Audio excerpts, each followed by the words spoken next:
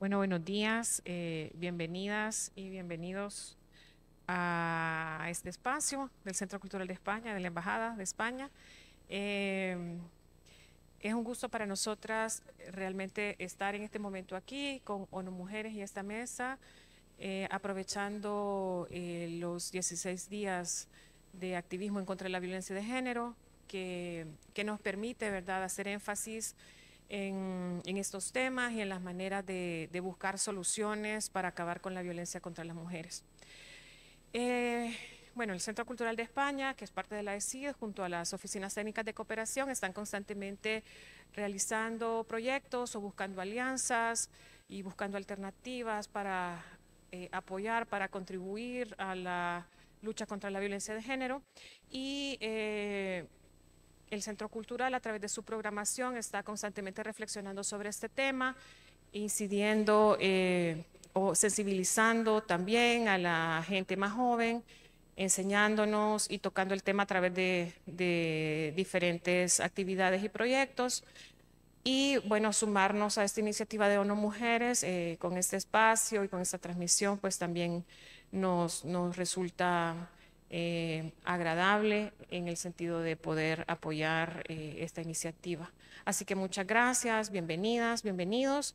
Eh, les invito a estar pendientes de nuestra programación también y en este espacio tan lindo que prácticamente estamos estrenando ahorita con estos cambios, ya lo estábamos usando antes, pero ha, estado en remodelación.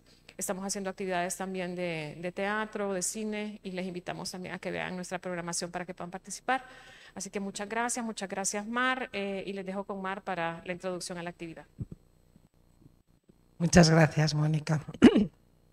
Queremos agradecer al, Centro Cultural de España la hospitalidad, ¿verdad? Creemos que es un espacio importante para este tipo de eventos porque creemos que el tema que hoy nos ocupa es un tema muy importante para todas las mujeres artistas, entre otros gremios. También tenemos aquí una importante representación del mundo académico del Salvador, que creemos que también es un, es un espacio donde eh, se está generando y donde se puede encontrar la solución a estos problemas.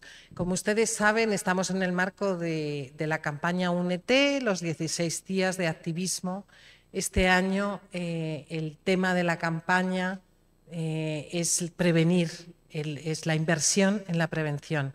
Hemos observado, venimos observando, la inversión ha bajado, en prevención ha bajado considerablemente. Sabemos, eh, tenemos ya unas claras experiencias que demuestran que el retorno de inversión cuando se invierte en prevención es grande. Tenemos unas buenas prácticas que además hemos recopilado en un, en un estudio que hemos hecho desde ONU Mujeres y que bajo las, el acrónimo de respeto, que casualmente coincide con, con el principio fundamental de la prevención, eh, recogemos una serie de buenas prácticas que han demostrado ser muy eficientes para prevenir la violencia. La violencia de género se enmarca en el, en el mismo marco de otro montón de violencias, pero es una violencia que afecta a más de la mitad de la población. No tengo que recordarles las cifras, están ahí, pueden entrar en nuestra página, pueden verlas. Yo creo que todos los que están escuchando son muy conscientes de, la magnitud del problema. Y, solo pues quisiera yo decir que este, este, este pequeño encuentro que hemos llamado conversatorio, que en realidad es un encuentro, ¿verdad? Es el principio de, una línea de acción que venimos haciendo desde hace tiempo y aquí está mi compañera Georgina Salvador. Ella lleva ya un tiempo trabajando en estos temas desde su especialidad como especialista en violencia de género y, como abogada, ¿verdad?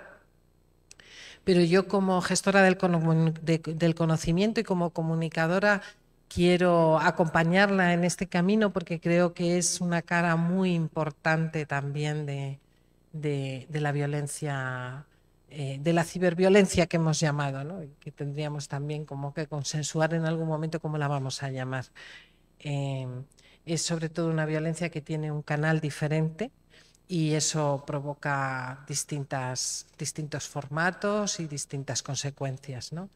Eh, este, como decía, va a ser el principio de un camino muy largo en el que queremos asociarnos con las universidades, con el sector académico, porque queremos no solamente denunciarla, sino prevenirla mediante datos, evidencias, investigación, porque creemos que solo trabajando en base a la evidencia podremos llegar a, otro puerto diferente.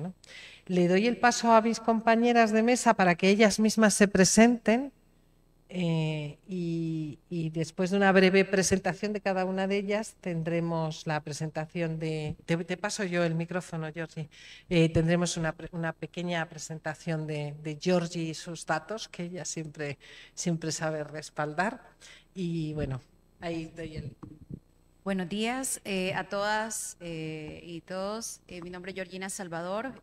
formo parte del equipo nacional de ONU Mujeres. Coordino propiamente el programa de violencia contra las mujeres de ONU Mujeres eh, y es un gusto esta mañana eh, compartir este espacio. Muchas gracias también al Centro Cultural de España por eh, el espacio para poder también hacer una contribución, ¿verdad?, desde las experticias de todas las que estamos esta mañana. Eh, brevemente eh, les comentaré un poco sobre eh, la visión de ONU Mujeres al respecto de este tipo de violencia y quizá voy a dar paso a, mi colega también para que se presente y volvemos ya con, el conversatorio propiamente. Gracias. Bueno, buenos días a todas y a todos. mi nombre es Sandra Aguilar, yo soy abogada especialista en, derechos humanos y, y, género y he tenido pues la oportunidad de recientemente trabajar con ONU Mujeres en, en, una propuesta de ley marco que regule justamente la violencia de género que se eh, realiza en línea y eh, hacer también un mapeo de cómo está la regulación en la región latinoamericana acerca de este tema. Así que voy a estarles compartiendo un poco acerca de los hallazgos de este mapeo para que podamos todas y todos estar informadas de cómo está la región en, en, este tema y que podamos em, también iniciar ese debate, esa discusión para, em, como ya decían las colegas, pues lograr prevenir, pero sobre todo erradicar esta forma de violencia que tiene la base, pues la violencia de género, que, bueno, por siglos nos ha venido afectando como sociedad. Entonces, bueno, es un poco agradecida también por el espacio, tanto a ONU Mujeres como al Centro Cultural de España, y espero pues que sea, como decía, el inicio de un debate em, tanto académico como de organizaciones y de todos los sectores que están involucrados. Gracias. Gracias, Sandra. Bueno, para iniciar un poco, eh, hemos preparado una breve presentación que quizá eh, poco a poco vamos a irnos deteniendo para generar este espacio de intercambio sobre este tema. Eh, me gustaría iniciar comentando que eh, de dónde surge, digamos, esta intervención de, eh, ONU Mujeres. ONU Mujeres es básicamente una, una organización de las Naciones Unidas recientemente creada. Tenemos básicamente 11 años aproximadamente de creación es una agencia de las Naciones Unidas relativamente nueva en el sistema y nace justamente eh, de las reformas eh, de Naciones Unidas que se plantean en el año 2010 con la la dinámica de que dentro del sistema de las Naciones Unidas exista una agencia especializada que pueda apoyar toda la transversalización del enfoque de género hacia adentro y hacia afuera. Eh, esto nos lleva a tener un triple mandato en los países. Eh, una mujer desde 2014 tiene una presencia nacional con eh, una representación de oficina, ¿verdad? La cual nos ha llevado a, trabajar arduamente en programas estratégicos, ¿verdad? Para beneficio de las mujeres en el país. Dentro de estos programas que una Mujeres impulsa desde el año 2014, es el programa de violencia contra las mujeres y justamente allí eh, se dan una gama de actores y de iniciativas que tienen que ver eh, justamente con tres eh, aristas específicas. Una tiene que ver con la armonización de marcos legales nacionales con estándares internacionales de protección de derechos humanos de las mujeres. Esto implica todo el trabajo con las instituciones, con las organizaciones de mujeres para impulsar propuestas de ley, ¿verdad? Impulsar la implementación de la ley integral para una vida libre de violencia. Y eh, esto básicamente nos lleva al trabajo en protocolos, lineamientos, guías y toda esta indumentaria eh, que se necesita para poder impulsar la implementación de la ley. Por otro lado, eh, también impulsamos la, eh, instalación de capacidades a las instituciones y a las organizaciones de mujeres para eh, también impulsar la agenda de las mujeres con la incidencia y con toda la agenda propia ¿no? de las organizaciones feministas y colectivos de mujeres y así también impulsar estrategias de capacitación que posibiliten la instalación de capacidades con las instituciones con competencia en el abordaje de la violencia. Por otro lado, sí eh, tenemos también una área muy importante dentro del programa, que es todo el fomento y todo el impulso a la agenda propiamente de la sociedad civil y de las mujeres en el país. Eh, dentro de esta dinámica, digamos, eh, hemos venido trabajando y viendo también cómo los comportamientos de la violencia han, de alguna manera, se reinventan. Hemos sido también, bueno, todas sabemos, tenemos el antecedente del COVID. Esto, digamos, a nivel global y también regional, hizo que las mujeres eh, estuvieran en su ciclo de vida también eh, de, cara, digamos, a un espacio privado donde muchas veces eh, sus agresores estaban con ellas y esto nos lleva a, este, a esta iniciativa. Em, no voy a parar mucho en el tema em, legal porque creo que aparte que es un poco aburrido, pero sí comentar quizá que en El Salvador en El Salvador, digamos, recientemente, eh, desde los marcos institucionales legales, se adoptaron eh, la Convención sobre la Eliminación de todas las formas de discriminación contra la mujer de 1979 y la Convención Interamericana para Prevenir, Sancionar y Erradicar la Violencia contra las Mujeres, la, que ya todas conocemos como Belén do Pará. Estos dos marcos legales eh, surgen, eh, digamos, a partir también de estas necesidades que globalmente se tenían y de estos análisis de expertas en las regiones de cómo impulsar la agenda de las mujeres y cómo garantizar la autonomía, ¿verdad? Y la garantía también de las mujeres a una vida libre de violencia. En El Salvador, eh, la ley que le da vida a la convención, eh, a la CEDAW propiamente, es la Ley de Igualdad y Equidad y Erradicación de la Discriminación contra las Mujeres. Este es un esfuerzo normativo, ¿verdad? Que surge como también medida afirmativa para poder implementar eh, la convención. Asimismo, en el ámbito de violencia, la Ley Especial Integral para una Vida Libre de Violencia da vida también a los mandatos contenidos en la Convención de Belén do Pará. Eso implica eh, que tenemos dos marcos legales globales, internacionales, que eh, aterrizan en dos leyes nacionales, de las cuales eh, se desprenden diversos mandatos. El Sistema Nacional de Atención de Mujeres se desprende justamente de la Ley Especial Integral para una vida libre de violencia. Eh, esta relación es importante eh, comentarla y conocerla porque a partir, digamos, eh, de estas preguntas que surgen siempre sobre por qué es necesaria una ley para las mujeres y escuchamos mucho este, estas preguntas a lo largo de una década de implementación de la ley, y es que la, violencia justamente surge, ¿verdad?, de todo el sistema de discriminación que las mujeres viven como mm, poblaciones eh, en situación de, perdón, de vulnerabilidad. Y esto eh, hace justamente que se tenga que tener medidas legislativas en los países para poder abordar eh, este, este tema de violencia, que no es, es, no es un tema aislado, es un tema estructural, es un tema complejo que involucra a todos los actores nacionales para poder erradicarla. Siendo así, la Convención Belén do Pará nos da los primeros parámetros eh, de saber qué es el derecho de las mujeres a vivir una libre de violencia. Este, este tema de vida libre de violencia se reconoce por primera vez en la Convención Belén do Pará y básicamente implica que las mujeres puedan ser libres de toda forma de discriminación valoradas y educadas, libres de patrones estereotipados de comportamientos, de prácticas sociales, culturales, basadas en conceptos de inferioridad y subordinación.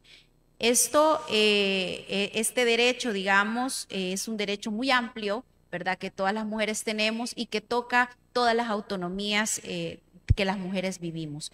Ahora bien, para el ejercicio de este derecho y para la implementación de la ley especial integral en los países, se ha creado un mecanismo que es el mecanismo de seguimiento a la Convención Belén do Pará, que es el mecanismo de MESECBI.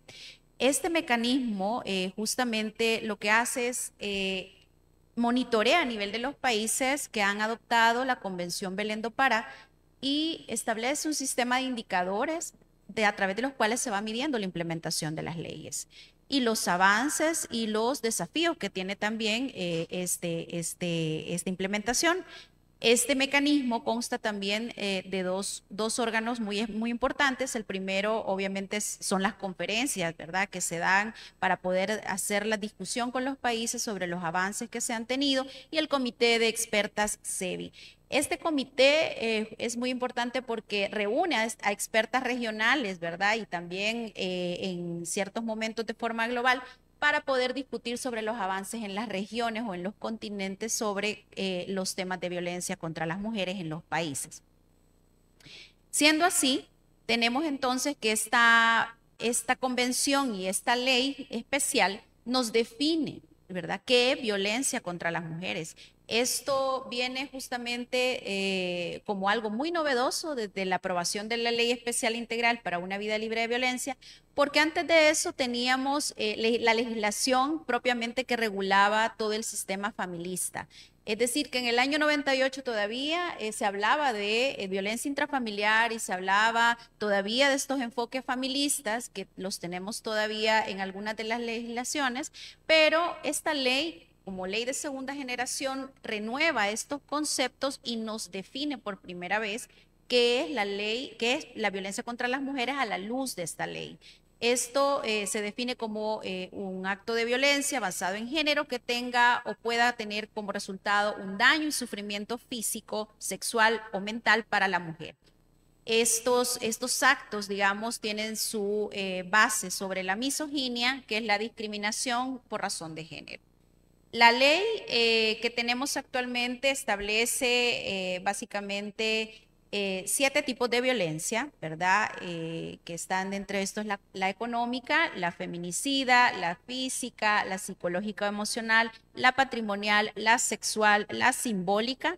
Y recientemente estamos hablando en una era post-COVID, donde los desafíos para las mujeres estuvieron mucho en el ámbito digital ¿verdad? Las mujeres eh, y todos, pues entramos a una era donde empezamos a eh, trabajar virtualmente y hacer otros, eh, básicamente la vida normal se trasladó en el online.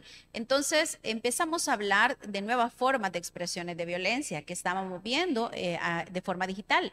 Esto nos lleva a empezar a conversar a nivel global qué está pasando con esta migración de la discriminación y el reflejo de esta discriminación en la violencia en, eh, de forma digital o en línea.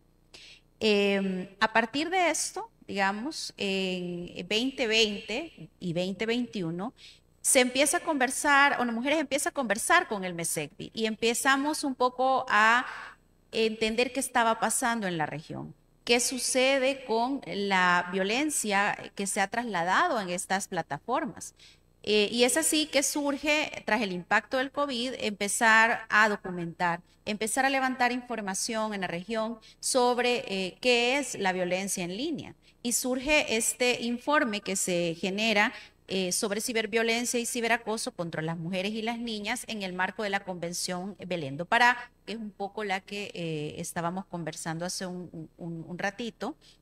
Em, y sobre esto, este informe es muy importante porque reúne información y también reúne eh, experticias en la región que nos llevan a aterrizar sobre poder conceptualizar por primera vez qué es la violencia en género en línea.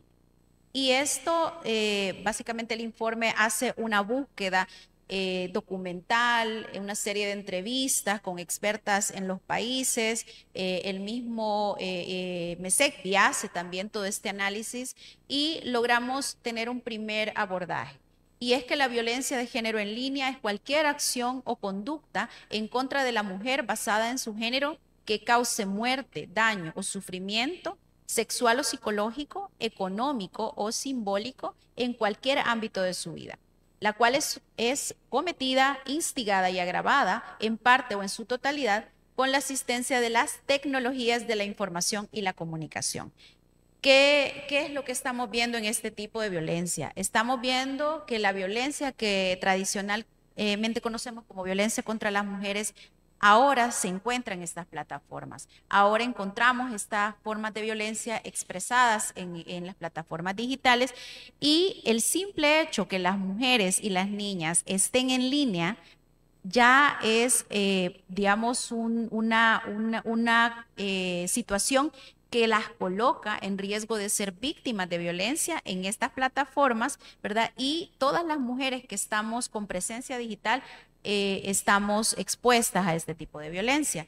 Esto es importante porque eh, nos da como un primer parámetro de qué estamos hablando cuando hablamos de violencia digital, ¿verdad? Eh, que no solamente estamos hablando eh, de la violencia tradicionalmente que conocemos, sino cómo esta violencia ahora está desplazada en estos espacios digitales y cuáles son esos riesgos y, y, y qué les, a qué le estamos llamando violencia digital.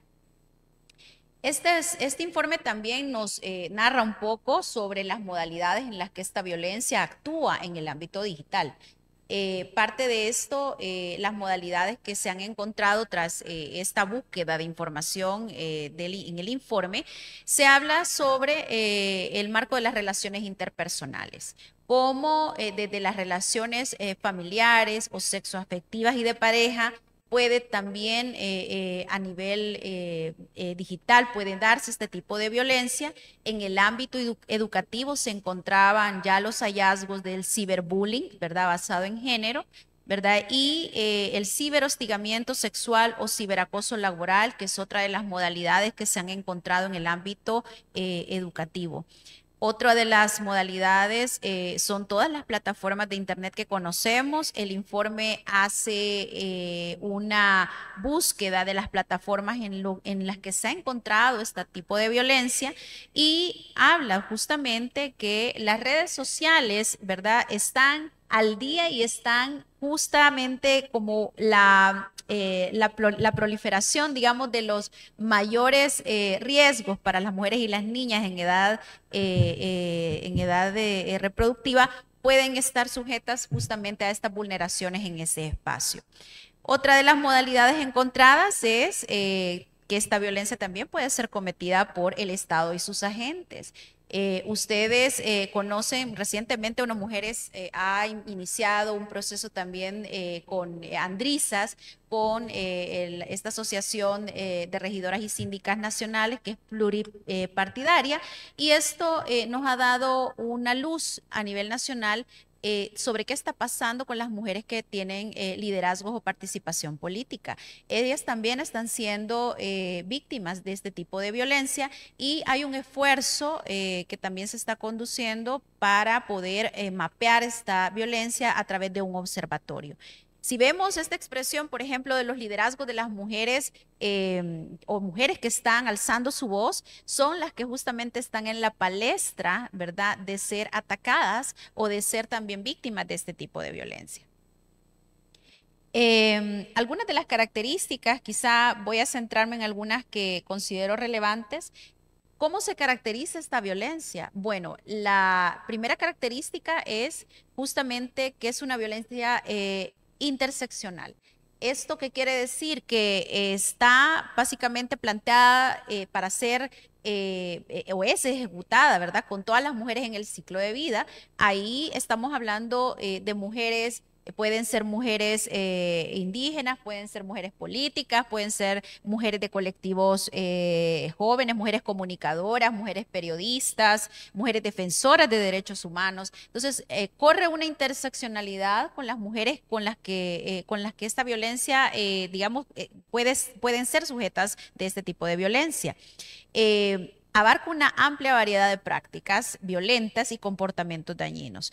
Eh, hay un esfuerzo más adelante de poder tipificarla, pero en realidad algo que me gustaría comentar es que la región está iniciando este proceso de búsqueda. Estamos iniciando las tipificaciones y estamos iniciando estas exploraciones que nos van a llevar en algún momento a impulsar medidas legislativas para poder tipificar esta violencia y poder entender eh, estos, cada una de sus modalidades. Em, es parte de un continuum de violencia contra las mujeres. ¿A qué me refiero con el continuum de violencia? El continuum de violencia quiere decir que las mujeres, si bien es cierto, eh, en el ciclo de su vida viven diversas formas de discriminación eh, y de violencia, esta violencia no se queda ya en el ámbito offline, es decir, en nuestra vida diaria, sino cruza también nuestras redes sociales. Estamos hablando de una amplitud, de, una, eh, de un continuum de violencia que traspasa de una modalidad a otra. Esto es bien interesante porque eh, pensamos que si no estamos en las redes sociales eh, no nos pasa nada, pero en realidad todo lo que está en, la, en las redes sociales, todo lo que está en Internet es contenido que puede ser utilizado también para este tipo de violencia.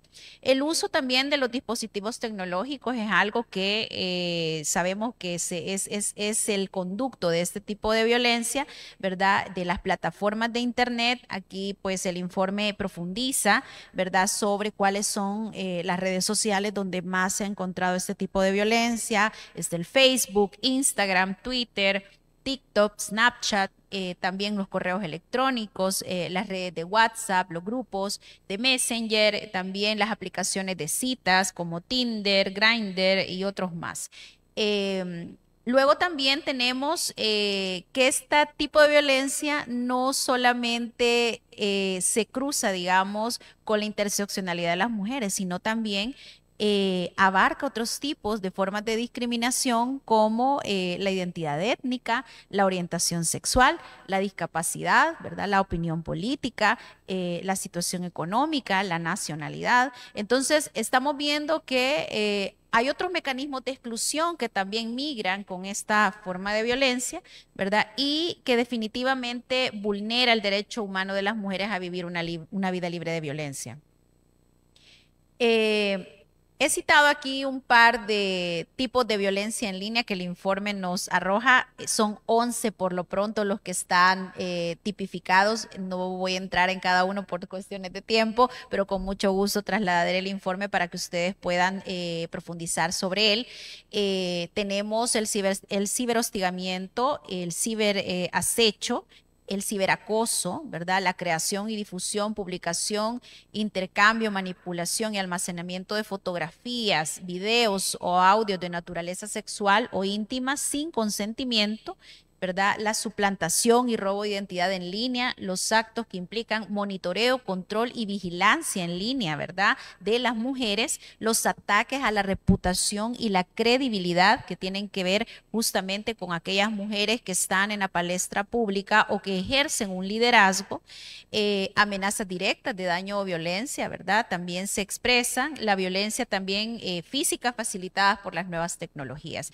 Eh, esto, digamos, es un primer abordaje. Sabemos que hay un camino muy largo por recorrer todavía para lograr tipificarlas, ¿verdad? Y eh, hice una pequeña búsqueda sobre eh, qué nos dice Internet sobre este tema. Eh, creo que, no sé si ustedes han visto una página que se llama Pictolin, donde esta página consecuentemente nos transforma la información y nos la pone de forma muy amigable. Eh, aquí encontramos expresiones eh, que, por ejemplo, las escucho mucho en jóvenes, digamos, Em, que están entre los 15 o 20, 25 años. Se está hablando del el amor romántico como, amor moderno. Se está hablando eh, del amor romántico eh, con, con, expresiones ahora que se están eh, hablando como de love bombing, como de el, el breadcrumbing, el benching, el caspering, el ghosting. Son cosas, digamos, que, eh, que como decimos, bueno, los jóvenes de ahora lo utilizan, están en las redes sociales, ¿verdad? Eh, las funas también de Twitter con los agresores, ¿verdad? Toda esta nueva gama de, eh, de lenguaje que en su contenido tiene la base de la discriminación y la violencia. Estamos hablando de los mismos conceptos que ya la Convención Belén do Pará nos dice, pero están traducidos a esta nueva lógica digamos, eh, de eh, redes sociales. Esto es bien importante porque cuando escuchamos estas expresiones, a mí me pasó personalmente que cuando escuchaba estas expresiones yo no las entendía. Yo decía, ¿qué ¿de qué estamos hablando cuando, cuando eh, los, los, y las jóvenes ahora te hablan de, de que lo gostearon? Que eso lo hace sentir mal, que eso le genera un daño psicológico. Entonces, este, este tipo de, situaciones eh, nos llevan también eh, a su base un desafío fundamental y es cómo las instituciones van a poder abordar este, este tipo de violencia con este tipo de, de actividades en las redes sociales. Eh, Luego también, bueno, un poco lo que les comentaba, ¿verdad? Las mujeres eh, que, son víctimas de esta violencia, no me voy a detener acá, creo que el informe hace un análisis más profundo sobre esto. Y em, los principales daños que el informe menciona que se ocasionan en, en, las mujeres en el ciclo de vida son los daños psicológicos y sufrimiento emocional, los daños físicos, el aislamiento social, ¿verdad? Los daños económicos para las víctimas y sus familias, la movilidad limitada en los espacios en línea, como ya no querer usar las plataformas se vuelve también una situación eh, que daña, ¿verdad?, eh, a las personas y también a la autonomía y la libertad de expresión, la autocensura y el uso reducido también eh, de las salidas o de espacios digitales es otra de las cosas que también el informe menciona. ¿Cuáles son las recomendaciones que se dan desde el MESEC Biono Mujeres? Bueno, eh, partimos de eh, que esta situación tiene que ser eh, abordada desde el marco de la debida diligencia reforzada. ¿Esto qué implica? Esto implica, ¿verdad? Toda la obligación estatal de prevención, de protección, de investigación, sanción y reparación que los estados, ¿verdad? Suscriptores de la convención tienen para adoptar medidas de carácter urgente positivas, jurídicas, políticas y administrativas para poder trabajar eh, sobre eh, esta, esta pronto acceso a justicia sobre estos casos de violencia digital. Eh, sí quiero un poco mencionar que eh, cuando hablamos de reparación en estos casos, eh, si tenemos desafíos ya sobre las acciones de reparación para las víctimas en el, fuera del mundo digital, esto se convierte en un reto enorme. ¿Cómo garantizamos que las víctimas de violencia en línea tienen acceso a reparación? ¿Cómo, cómo retiramos ese material del Internet que es dañino para ellas? Todo esto es un desafío todavía para los sistemas eh, de justicia. Y una de las cosas importantes que mencionábamos ya con, otras colegas en esta discusión en su momento era que eh, no basta con tener medidas legales en los países para abordar este tipo de violencia. Falta la investigación con la academia, falta también la incidencia con las organizaciones de mujeres y otros actores locales, falten también eh, toda la, lógica de revisión de, estas de estos mecanismos eh, de comunicación digital, ¿verdad? ¿Cuáles son los límites que esto puede tener, ¿verdad? Y cuáles también son eh, algunas medidas preventivas que se puedan dar, ¿verdad? El conocimiento también eh, de las y, los jóvenes sobre esta forma de violencia es una eh, situación también muy importante. Em, a partir de este punto de, eh, cómo de entre 2020 y 2022 tenemos este, esta información y este informe, en el país o no mujeres intenta hacer un esfuerzo por entender en el caso del Salvador qué podemos hacer para poder eh, abordar este tipo de violencia. Y eso nos llevó justamente a contactar a, nuestra colega Sandra Aguilar para que pudiera hacer también eh, eh, una búsqueda sobre cómo está la región, eh, cómo, cuáles son los avances que tiene la región y cuál es una propuesta que podría ser trabajada para poder abordar este tipo de violencia. Así que voy a dar paso a, mi colega eh, para que pueda un poco comentarnos sobre estos esfuerzos y luego generamos eh, ya pues eh, el, el feedback con todos para poder conversar sobre el tema.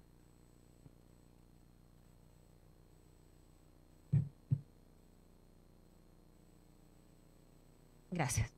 Gracias, Georgina. Eh, bueno, súper interesante la, información. Eh, cuando yo estaba haciendo eh, la primera búsqueda, digamos, de información para, para ver justamente cómo estaba el, el, el panorama en la región, em, me encontré obviamente con este informe y me pareció súper interesante la clasificación que hace de todas estas expresiones de violencia que como ya lo decía eh, Georgina, al final de cuentas es la misma violencia de género que se vive en la vida cotidiana, ahora trasladada a un nuevo espacio con eh, nuevas modalidades y con, digamos, la agravante de que lo que pasa en línea no se queda entre eh, las dos personas o tres personas que hayan intervenido en la situación, sino que es algo que trasciende ¿Cuántas veces hemos visto ya eh, videos, reels, lo que sea, que contenido que está compartido en cualquiera de las redes de situaciones que han ocurrido en otro continente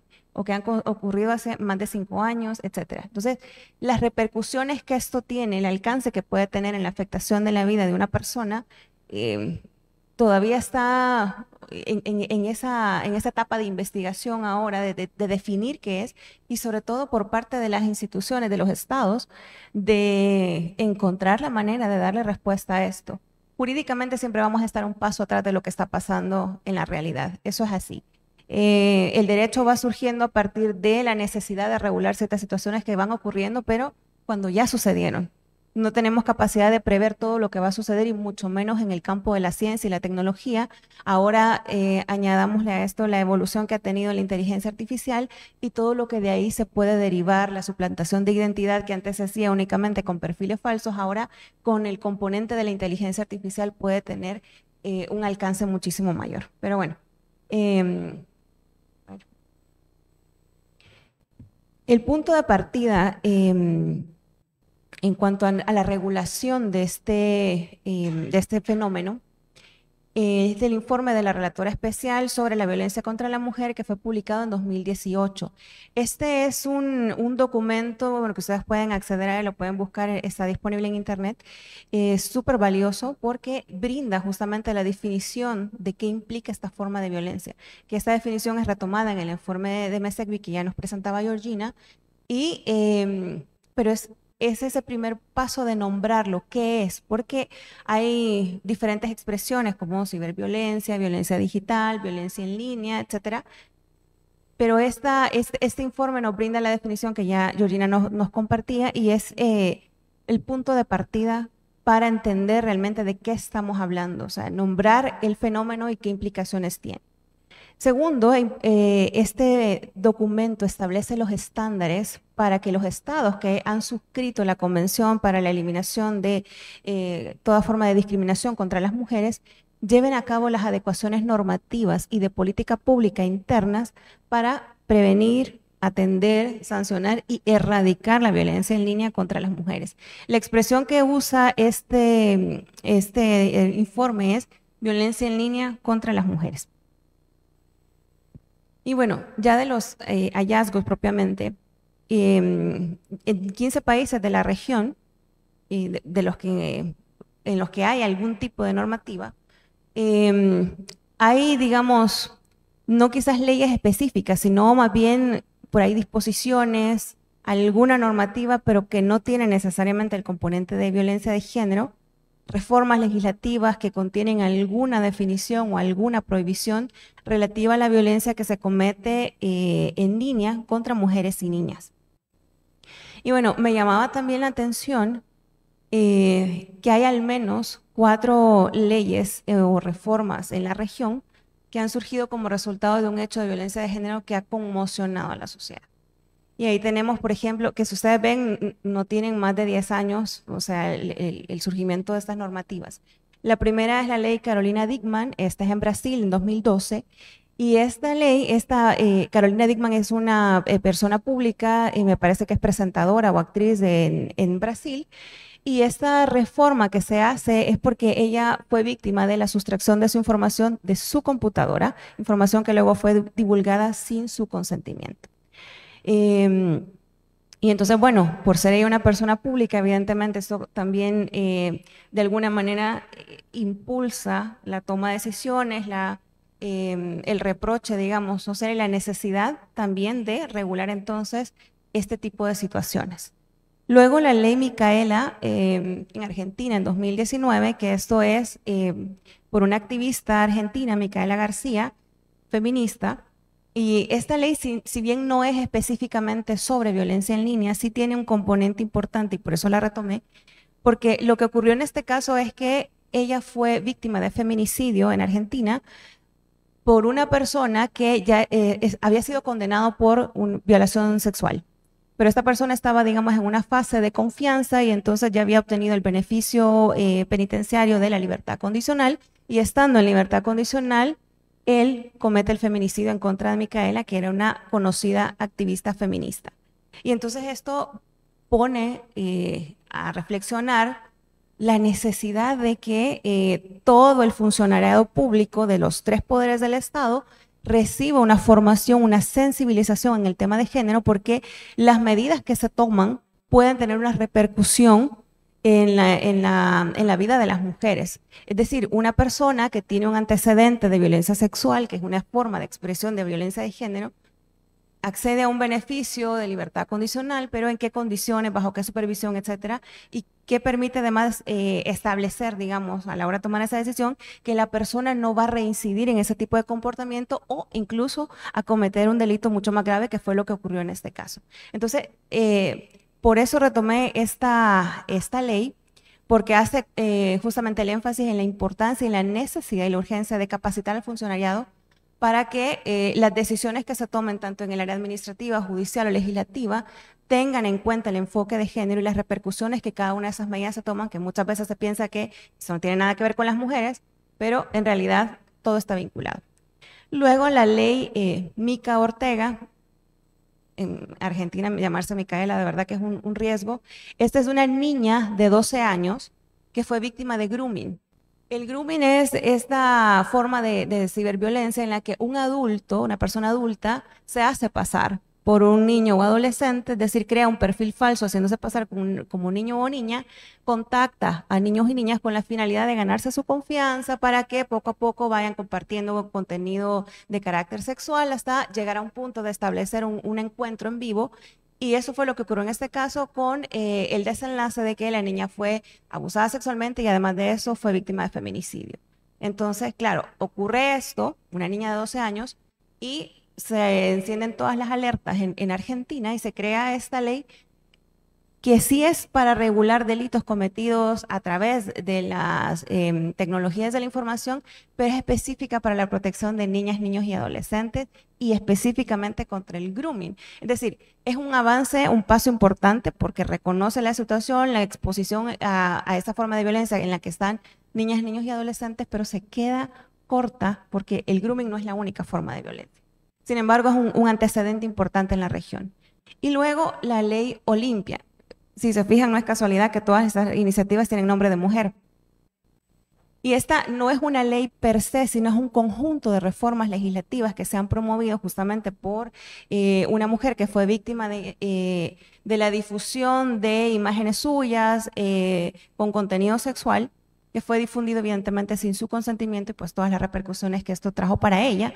Entonces, ella comienza la lucha por regular esta situación, por garantizar una protección, al menos jurídica, para las mujeres y que este tipo de situaciones pues ya no queden impunes. Entonces, eh, a la fecha, varios estados ya en, México han eh, ratificado, incluido reformas en el Código Penal para sancionar este tipo de comportamiento. Y bueno, de los hallazgos, em, como ya les mencionaba antes, pues muchas disposiciones que incluyen definiciones como violencia digital, violencia mediática, violencia cibernética. No hay una uniformidad al momento eh, de la denominación que se hace acerca de este tipo de, conductas. Eh, en otras hay, por ejemplo, sanciones para el acoso y el acoso sexual que se comete a través de las TIC. Eh, la, prohibición también de difundir o publicar imágenes, audios, videos, etcétera, ¿no? Que tengan contenido sexual y que se haga sin el consentimiento de la persona. la regulación de pornografía infantil y grooming, eh, la sanción eh, para la obtención de manipulación o destrucción de datos personales sin la autorización de la persona, la sanción también a la distribución de los mensajes de odio, misóginos, etcétera, a través de las redes sociales, porque también es un espacio donde se, llevan a cabo ese tipo de, situaciones. Y luego, los retos a partir de estos hallazgos. Uno, pues el primero, lograr una homogeneidad en, la denominación de esta conducta, ¿no? Porque hasta el momento no hay homogeneidad ni en los conceptos ni en las definiciones. En algunos se queda como eh, difusión o distribución em, de, contenido, de imágenes o lo que sea. En otros se hace referencia, por ejemplo, a la incitación de mensajes. Em, en fin, entonces es un reto como región eh, lograr la homogeneidad, porque eso permite también eh, lograr de cierta manera seguridad jurídica. Cuando todos y todos sabemos de que, estamos, que estamos hablando de lo mismo, más fácil entonces también garantizar la protección al respecto. Luego, la carencia del enfoque de género en la redacción de las disposiciones normativas. Muchas no han sido creadas específicamente para la protección de mujeres o niñas frente a ese tipo de violencia, sino eh, las leyes generales de, delitos informáticos que están más bien como orientadas, sí, en algunos casos al tema de pornografía infantil o al tema de sustracción de datos, pero digamos en el ámbito comercial, por ejemplo, del robo de patentes o lo que sea que se pueda hacer a través de estos medios. Entonces, no están pensadas propiamente para la protección de eh, los derechos de las mujeres. Lo otro, la inclusión de regulaciones en normativa penal general a través de reformas parciales. Em, si bien yo no soy partidaria de andar creando vastedad de leyes especializadas, porque luego esa atomización también genera antinomias, es decir, contradicción entre una normativa y otra, y eso a veces da espacio también para que, eh, sobre texto de la confusión o la contradicción, se genere impunidad, pero la normativa penal general pues no ha sido pensada justamente para eh, proteger o, o analizar o sancionar la violencia que se comete basada en el género. Entonces, cuando se introducen reformas parciales acá, tampoco estamos garantizando que eh, la regulación comprenda todas estas formas de expresión de violencia que atacan de manera particular a las mujeres y la sanción entonces tampoco va orientada, digamos, a eh, reparar a la víctima y, a atender, digamos, las consecuencias que pueda haber sufrido a raíz de este tipo de violencia. Lo otro es la reducción que se hace de la regulación de violencia en línea a algunas expresiones de violencia sexual. Creo que cuando hablamos de violencia digital a muchos se nos viene la idea de que entonces es, bueno, cuando vimos que alguien difundió la imagen íntima de una persona, un video que aquí también hemos conocido de casos bastante sonados al respecto, pero no es la única forma de violencia. No es que entonces eh, si yo envío una foto eh, a mi pareja o lo que sea, entonces y esa la difunde, ese es la única, eh, el único riesgo al que estoy expuesta. Hay suplantación de identidad, hay robo de información. Bueno, Georgina ya nos mostraba muchas de las, de las otras formas de violencia que tiene esto, los ataques que reciben muchas mujeres que están justamente también em, haciendo uso de las redes para expresarse. Y luego, y lo más grave en algunos casos, es la falta absoluta de regulación en el tema, es decir, no hay, no está considerado jurídicamente eh, este, este fenómeno y entonces cuando ocurren estos hechos no hay tampoco mucho que hacer eh, porque no hay una regulación al respecto. Y bueno, eh, ya las recomendaciones, digamos, luego de estos hallazgos. Primero, pues la estandarización para poder regular tanto la prevención, la detección, la atención y la sanción de esta forma de violencia contra las mujeres reforzar la protección del derecho a las mujeres a hacer uso de las tecnologías de información y comunicación libres de cualquier forma de discriminación y violencia. Que no puede ser que estemos eh, expuestas y que no podamos hacer uso tranquila o libremente de este tipo de tecnología porque estamos expuestas a que cualquiera de estas formas de violencia nos ocurra. Luego, la asignación de recursos económicos, humanos y tecnológicos por parte de los estados para lo que ya nos decía Georgina anteriormente, prevenir, proteger a las víctimas, investigar y sancionar y luego también la reparación a, quienes han sido víctimas de esta forma de violencia. Em, establecer alianzas acá con la academia, con organizaciones de la sociedad civil y acá me faltó también con el sector privado para trabajar de manera conjunta en las acciones de prevención. El rol de las empresas eh, de tecnología es sumamente importante, de las empresas de telecomunicación también, porque son responsables del contenido que se sube o se comparte a través de sus plataformas. Tienen que haber regulaciones eh, claras que establezcan limitaciones también, que no se puede estar difundiendo contenido sin autorización de otra persona o que evidentemente está siendo eh, compartido para causar un daño a alguien más. Entonces, es importante generar estas alianzas para eh, involucrar a todos los actores en, este tipo de, acciones. Luego, la creación de políticas públicas para difundir información, sensibilizar acerca de esta forma de violencia en todos los espacios. Niños, niñas, adolescentes, jóvenes están 100% eh, accediendo a la tecnología y muchas veces sin saber qué cosas les pueden pasar, cuáles son los riesgos y que a veces se convierten sin quererlo en cómplices al estarle dando compartir a cualquier eh, contenido que ven. O sea, necesitamos generar una sensibilización también que no nada más es responsabilidad de quien sustrae la información o de quien hace la primera divulgación o difusión, sino de quienes están continuamente haciendo like o donde le clic a esto y hacen que la, las situaciones se vuelvan virales, ¿no? Em, la capacitación y la formación también del personal, tanto de la Administración de Justicia, de los cuerpos policiales, los ministerios públicos, porque muchas veces esto se ve como algo sin importancia, como, ay, te bullearon en, en las redes sociales, o sea, ¿eso qué? O sea, hay problemas más graves, ¿no? Y no, eso tiene una repercusión importante, en especial en adolescentes. Las afectaciones a la salud mental son sumamente graves y el desprestigio que puede también sufrir una persona, su imagen, a consecuencia de estas acciones. Y finalmente, para ya no extenderme más, bueno, el refuerzo de la protección a mujeres que están expuestas a esta forma de violencia en el ejercicio de su profesión. Mujeres que están en cargos públicos o que son candidatas a cargos públicos muchas veces son atacadas no por las ideas que están eh, promoviendo, porque no se hace un ataque con argumentos, sino un ataque a la persona. Entonces, eh, que no pasa comúnmente con los hombres. Entonces hay, que, hay una necesidad de proteger de manera reforzada a las periodistas también, a las defensoras de derechos humanos, activistas, que también están expuestas a ser eh, atacadas en espacios como blogs, como, eh, bueno, en las redes sociales, etcétera, ¿no? Y em, finalmente, pues el diseño y la implementación de medidas de reparación con enfoque de género e interseccionalidad, eso quiere decir que no nada más eh, vamos a tener en cuenta el género la persona, pero también las otras variables o las otras condiciones de vulnerabilidad, como la edad, la discapacidad, la situación migratoria, etcétera, ¿no? Que puedan estar poniendo a la persona en un mayor riesgo y sobre todo que se garantice cuando se trabaje o se implementen o diseñen estas medidas, se tiene que escuchar a las víctimas y sobrevivientes para que eh, su opinión y sus necesidades específicas sean tomadas en cuenta. Bueno, me quedo por ahí. Y dejamos abierto, no sé, Mar.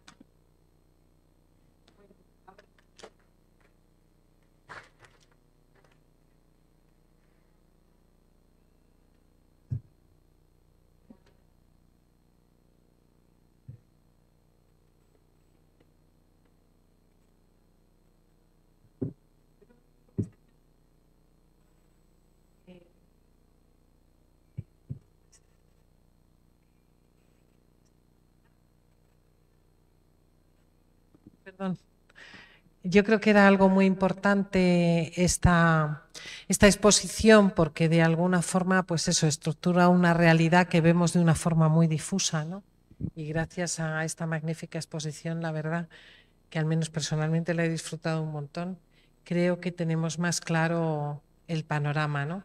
Ahora creo que es el momento de que vengan nuestras compañeras eh, eh, Xiomara y Andrea, que ellas se van a presentar también para que desde la academia puedan eh, ofrecernos un,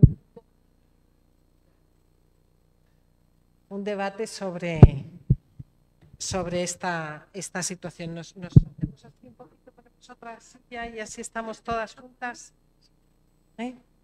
No, porque vosotros mejor nos quedamos dialogando todas ah, juntas, si os parece hemos pensado que, mejor hagamos un debate compartido, ¿no? Es como, es como una conversación realmente, no, no nos hemos propuesto eh, en esta parte de en esta parte de, de, la conversación no nos hemos propuesto nada extremadamente formal, sino un poco una conversación. Le voy a pedir a Xiomara y Andrea que se presenten ellas, igual que hice con las compañeras anteriores, para que, para que las conozcamos.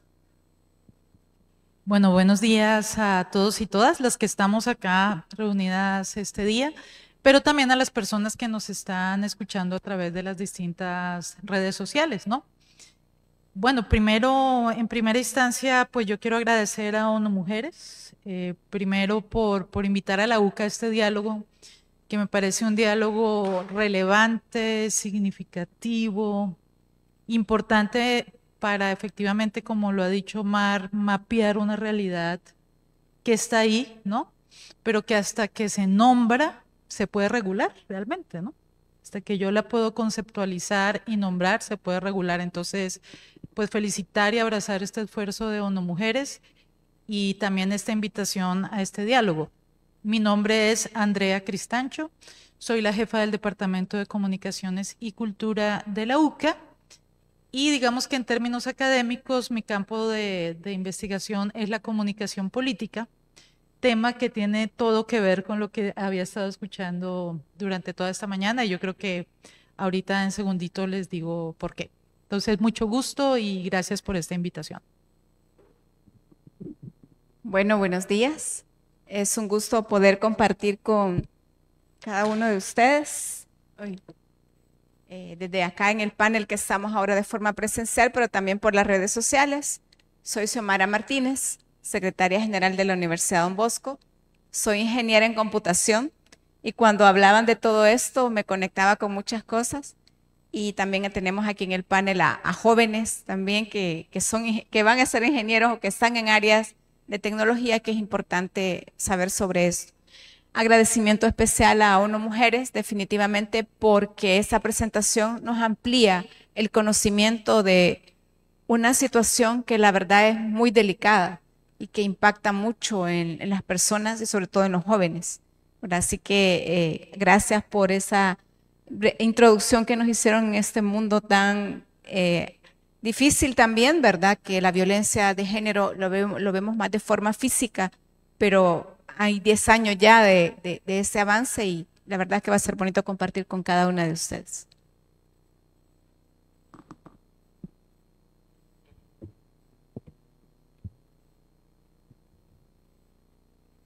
Aquí estamos, creo. Perfecto. Vamos a abrir el, debate. Teníamos aquí como unas preguntas, ¿verdad? Eh, claro, primero un poco esta, esta, esta reflexión sobre cuáles son las consecuencias graves y reales de la violencia de género en línea. ¿no? Nos estaba diciendo Sandra siempre siempre pensamos como en la violencia sexual y estas cosas que salen en las, series de televisión, pero hay consecuencias mucho más graves, ¿no? Y mucho más, y como, como también apuntaba Georgie, eh, en el fondo es una violencia continua, ¿no? Porque estás en ese espacio digital, es como si cada vez que atravesamos un callejón y tenemos el peligro de que nos violen, eh, si estamos en las redes sociales estamos todo el tiempo expuestas a esa violencia y es una violencia que nos afecta continuamente. Entonces, me gustaría que las compañeras que vienen del mundo académico, las compañeras que vienen de, todo este eh, trabajo que se ha hecho, nos, nos comenten un poquito cuáles creen que son las consecuencias verdaderamente graves de este tipo de violencia. Bueno, son muchas, pero para hacer, para responder, yo quisiera empezar eh, hablando de un tema, de una reflexión vieja, pero que yo creo que es bastante nueva y tiene todo que ver con este tema.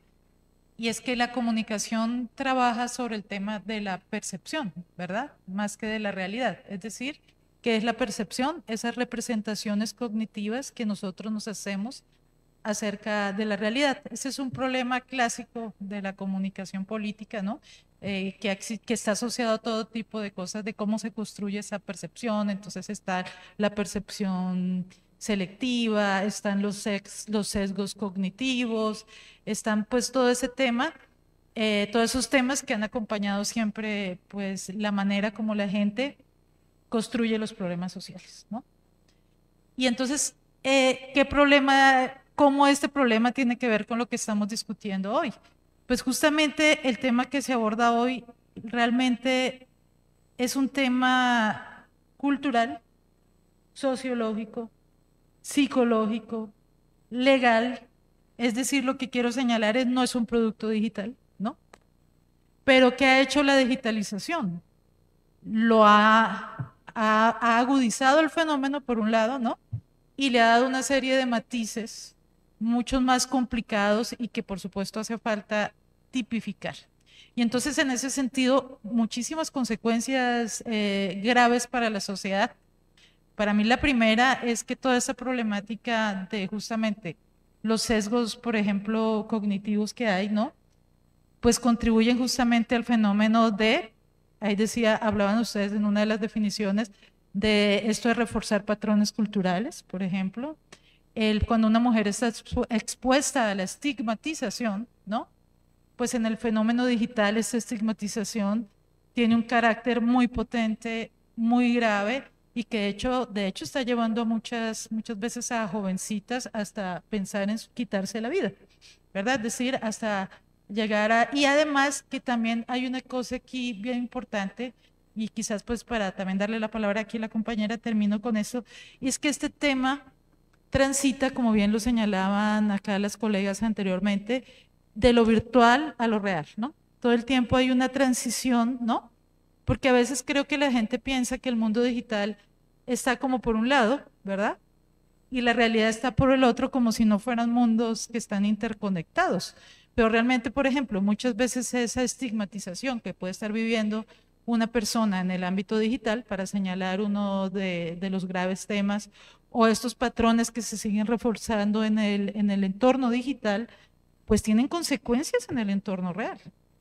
Es decir, al final se expresan también en, en feminicidios, en violencia sexual, en, en, hostigamiento real, en acoso, en, o sea, esto, esto que empieza a suceder en el entorno digital pasa al entorno real a tener consecuencias muy serias y muy concretas y muy silenciosas también muchas veces. Yo pues soy profesora universitaria y a veces los jóvenes están viviendo un montón de temas muy delicados en el mundo digital, pero como que la vergüenza no los anima a hablar, ¿no? Y este tema que ustedes señalaban de la autocensura, del silencio, de aislarme, de no hablar, de tener vergüenza, de no quiero que, ¿sí? que nadie sepa, y como que lo, lo guardan los jóvenes entre ellos en ese, en ese otro mundo que está ahí. Entonces está generando, hay un fenómeno que uno dice, bueno, ¿y este muchacho por qué? O esta joven, porque al final decidió quitarse la vida? ¿Quién sabe? No sabemos. Bueno, no, no vimos las señales, ¿no? No estuvimos más alerta de todo, de que esto que está pasando en el entorno digital empieza a tener consecuencias muy concretas en el entorno real y cómo este fenómeno transita de un lado a otro, ¿no? De lo real a lo digital y lo digital a lo real. Es decir, las redes sociales no son islas, ¿no? forman parte de nuestra vida cotidiana y están incidiendo concretamente y de manera muy grave en la vida de las mujeres. Muchas gracias. Bueno, yo considero que, y esa es lo que se me venía a la mente cuando las escuchaba, es un tema complejo y silencioso. Porque, eh, bueno, los estudios que ustedes han hecho y otros estudios posterior a pandemia hablan de la salud mental y yo me ponía a pensar cuando ustedes las escuchaba hablar de lo difícil que es una agresión física, pero usted lo ve, escucha si alguien le grita, pero a través de una pantalla no lo ve más que el agresor y la, la persona que lo está viviendo. Entonces se convierte en algo silencioso que también afecta mucho la salud mental. Y viene todo lo que ahora escuchamos y nos alarmamos y aquí hay algo que, yo no, no, veía en el, en el, estudio y creo que es importante y es lo que afecta a la familia. Imagínense llegar hasta ese punto de un suicidio o algo en el que el joven esconde porque se siente culpable, la joven muchas veces se siente culpable, y que nosotros los, que mayor, los mayores, los generación X, ¿verdad? O, los baby boom, me digamos, me gustó mucho lo que la formación que se habla ahí de, las personas que están en esos, que, a quien deben acudir, porque las personas a las que deben acudir no tienen la formación. O sea, te dicen, ah, no, y por eso estás preocupada. Efectivamente, hay cosas más graves. Y otro aspecto que creo que es un problema y que hay que tener, y aquí lo dicen en el estudio, debe haber una consecuencia. Es que la tecnología se hizo para ayudarnos, pero también para esconder muchas cosas. Se puede incluso llegar a detectar quién fue. Se puede, claro que sí. Eh, pero como no se sigue, no se investiga, se queda ahí como, y eso queda para siempre, o sea, sobre todo cuando son, porque las redes sociales son públicas y hay una, hay una entidad que las gestiona, que las administra. O sea, y aunque usted ponga algo ahí, no van a dar respuesta de forma rápida. Pero creo que también es importante el ver que además de un problema silencioso, es un problema que afecta a familias, que afecta a imagen, que afecta a empresas, que afecta incluso universidades, ¿verdad? O escuelas, o, una primaria, o sea, de todo lo que ahora, ahora he comentado, y cómo también en la salud mental afecta, porque el suicidio, digamos, puede darse, pero también el que yo me siento introvertida, me siento culpable, no quiero hablar con mis padres, y voy asumiendo eso o me escondo, ¿verdad? O puedo recurrir a otras cosas como las drogas, otro, tipo de, de situaciones muy difíciles, entonces creo que sí es un problema muy grave que debemos de abordar y que eh, incluso cambiar el discurso de la violencia física. También estamos hablando ahora de la violencia digital que no la vemos, Entonces creo que sí es algo que debe de ocuparnos, además de no solo preocuparnos. Gracias, colegas. Aunando a lo que, a lo que ya mencionaban ustedes, hay otro efecto que tiene este tipo de, violencia y es eh, censurar a las mujeres. Eh, censurar y, limitar el ejercicio de la libertad de expresión, porque finalmente el Internet, las redes, lo que sea, es una prolongación, digamos, del espacio donde nosotras hacemos eh, o ejercemos el derecho a expresarnos desde lo que publicar un estado, compartir alguna nota de lo que sea, en fin. Pero si estás constantemente recibiendo ataques que ya incluso vayan subidos de tono y te hagan pensar que realmente esa amenaza se puede convertir en un, en un hecho concreto que te afecte eh, en, alguna forma de tu integridad, pues te lo vas a pensar dos veces si realmente te vas a sumar a, compartir algo o no. Y, mm, bueno, de por sí hay una brecha eh, de género importante en el acceso a las tecnologías eh, entre hombres y mujeres. Y ahora, eh, con el agravante de eso, que tenemos más limitación para acceder a esto, pero que además cuando lo hacemos estamos más expuestas que los hombres a, eh, recibir cualquier tipo de ese tipo, eh, perdón, de esas formas de violencia. El informe, por ejemplo, de, de MESEC no Mujeres mencionaba que más del 90% de las víctimas de distribución no consentida de imágenes íntimas son mujeres. Estamos hablando que de cada 10 casos, 9 son de mujeres. Y aparte de eso, las mujeres tenemos 50% más probabilidad de ser víctimas de suplantación y robo de la identidad. O sea, a los hombres no les pasa, nos pasa a nosotras. O sea, nos pasa en un 50% más que a los hombres. Eh, esto no, no es casualidad, lo que veíamos. La mayoría de iniciativa, de normativa, ha surgido por violencia de género, o, sea, violencia que ha ocurrido contra las mujeres feminicidios, robo de identidad, em, robo de información, la difusión de contenido íntimo, personal, que no tendría por qué estar difundido. Y son iniciativas de las mujeres, porque esto nos está afectando a nosotras. Y entonces, así como la lucha para hablar y visibilizar la violencia de género en la vida cotidiana ha sido un largo caminar y que todavía seguimos ahí, que todavía hay que explicar por qué es necesario, por qué hablamos de violencia de género, por qué hay que tener una protección especializada, estamos empezando ahora esta lucha también con la violencia digital. Y, es importante sumar a la mayor cantidad de actores en ese tema, concientizar cuáles son las implicaciones que tienen y que es, algo que, que, así como la violencia de género que inicia desde la primera infancia, esto también inicia en la primera infancia porque niños y niñas están haciendo uso y bueno, ahora a partir de la pandemia todavía más, están accediendo a tecnología que muchas veces los padres y madres no saben ni siquiera cómo funcionan. Estas nuevas aplicaciones que no saben cómo funcionan, que no saben si tienen eh, configuraciones de privacidad, de seguridad, etcétera, y o que no estén en la orientación para saber qué tipo de información pueden o deben compartir en línea para evitar exponerse aún más. Pero también la educación, por otra parte, de eh, así como no debemos promover que se haga bullying en, en, la escuela, en el, en el, aula, tampoco en las redes sociales. Esa es parte de la educación que, debemos eh, promover, pero porque eh, no es un juego, las redes sociales al final de cuentas no están ahí para, para un juego. Lo que pasa ahí tiene repercusiones en la vida real. Entonces, promover también el uso seguro del Internet, el uso respetuoso de las redes sociales. Em, pienso que, es importante y ahí la academia, el sector privado, los medios de comunicación también tienen un rol importante porque luego estos espacios digitales, el ciberespacio, se vuelve también un, mm, espacio, valga la, la, la redundancia, donde se reproducen los estereotipos de género que vivimos en el día a día la cosificación de la imagen de las mujeres y la justificación de es que entonces, ¿para qué le mandó esa foto?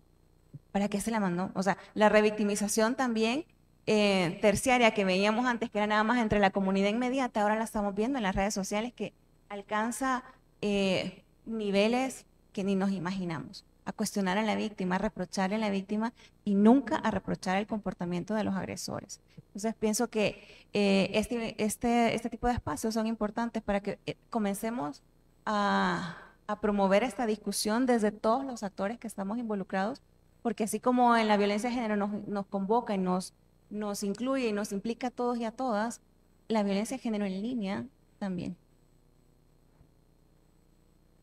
Gracias, Sandra. Eh, yo quizá, eh, retomando un poco el, punto de las colegas, eh, me hace un poco la reflexión también sobre Siempre que pensamos en los tipos de violencia, lo hemos reflexionado mucho en nuestra oficina, cuando pensamos en los tipos de violencia y en estas rutas de, la violencia, nos hace pensar que en realidad eh, la expresión más eh, fuerte de la discriminación es el feminicidio. Entonces, cuando hablamos de todas estas situaciones y de los daños que ocurren eh, en, las adolescentes, en las mujeres que están en, en la vida digital, cómo esto poco a poco puede ir escalando y cómo también esta violencia se convierte en una violencia que forma parte de la ruta de un posible feminicidio y cómo estas alertas alrededor de todos los actores eh, nacionales, todos los que estamos trabajando en, los temas, eh, eh, retomamos esta visión, ¿verdad? justamente con estas alertas y el trabajo de prevención fuerte que debe de haber, ¿verdad? mucho hace una década, recuerdo, recuerdo mucho que em, en el trabajo policíaco que hacíamos de formación con fiscales, con jueces, mucho teníamos la insistencia de eh, cuando encontrábamos eh, tipos de violencia psicológica o lesiones o de otro tipo, pensáramos en cómo esto podía escalar o cómo esto se podía convertir en un feminicidio. Y hoy eh, con un eh, posible suicidio feminicida, que es el que es eh, utilizado bajo esta, esta modalidad de inducción o ayuda, ¿verdad? Sabemos que de, este, de esta ruta feminicida también la violencia digital o esta expresión se incorpora también a, este, a esta preocupación, a esta alerta, ¿verdad? Eh, y creo que los espacios también donde esto se discute, más que en el ámbito legal, con medidas y demás, Estamos hablando de los centros escolares, estamos hablando de la formación de niñas y niños, ¿verdad? De los planes educativos y de todo lo que tiene que ver eh, con estos ejes de primera infancia y de prevención que tienen que estar articulados eh, en, los centros escolares, en las universidades. ¿verdad? Eh, justamente para empezar esa tarea titánica de prevención eh, mucho decimos la prevención a veces eh, se toma como que es muy cara, es muy fácil, es muy difícil de medir, es a largo plazo, los cambios de comportamientos y las normas sociales tienen un, lapso de tiempo, pero en realidad eh, esa es una de las puertas que hay que abrir y que hay que empezar a tocar. Hay que empezar a articular estos esfuerzos en la educación y la prevención, porque en realidad no quisiéramos que llegáramos a los feminicidios ni a los suicidios feminicidas quisiéramos evitar eh, eh, ese, ese daño, que es el daño máximo, ¿verdad?, eh, a la vida de las mujeres y de las niñas, y, y, esto tiene que ver con estas medidas temprana, ¿verdad?, de adopción que tienen que tomarse e incorporarse también en todos los planes, guías, políticas y todo lo que eh, el quehacer de cada uno de los actores. Eh,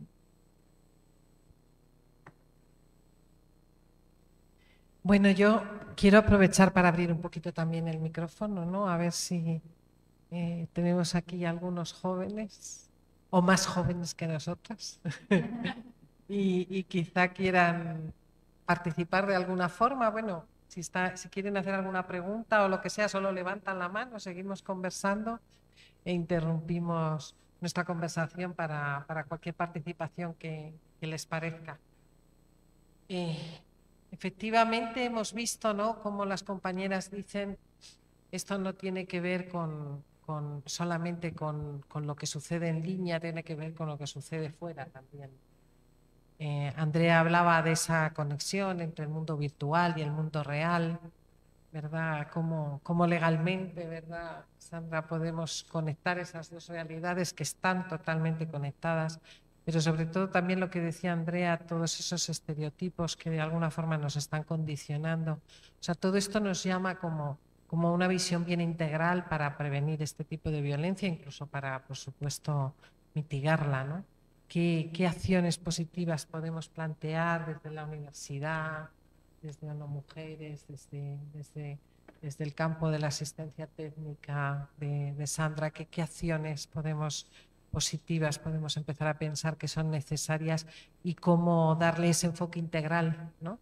que, evidentemente estamos viendo que, que, no es un problema tan fácil de tratar precisamente por esa integralidad. Y luego esto que mencionó eh, eh, Georgina, que la, interseccionalidad, ¿no? Cómo, cómo se suman un montón de condiciones de discriminación y quedan multiplicadas con, el, con esta, esta, herramienta digital, ¿no?